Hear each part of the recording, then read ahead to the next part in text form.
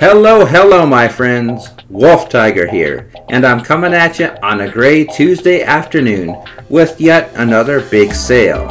It seems that 2K and Humble Bundle have teamed up for the latest Humble Bundle pack.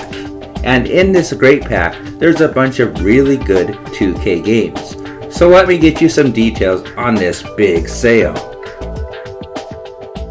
For those unfamiliar with the Humble system, the way it works is you decide how much you want to pay for these games with a minimum of $1. But the more that you pay, the more games that you access in the package. And the best part about it is the money goes straight to the developers and the charity. There's no middleman, no publisher, no fees. You decide how much you want to pay and how much you want to give both the developer and charity. It's that simple. And in this package, we have a serious list of some major hit titles for low, low cost. If you bid at least $1, you get the original Bioshock, the Bureau XCOM Declassified, and The Darkness 2.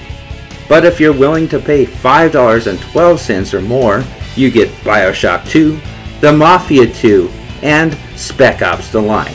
And if you're willing to go even a little more at $20, you can get XCOM Enemy Unknown and Bioshock Infinite. Some very good titles right there. Doing the math, that's $209 worth of games at retail. And for 8 games, $20 is a huge deal, especially when you consider what great titles are in this pack. The Bioshock trilogy makes the pack worth it on their own. So if you're lacking any of these titles in your library, this pack is well worth it, especially if you want to send a message to 2K that you support the games that they make. And some of that money goes straight to charity, so that's a worthy cause. I would wholeheartedly recommend anybody that doesn't have all of these games would go out and support this pack.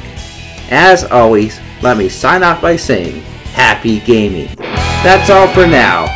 Peace out.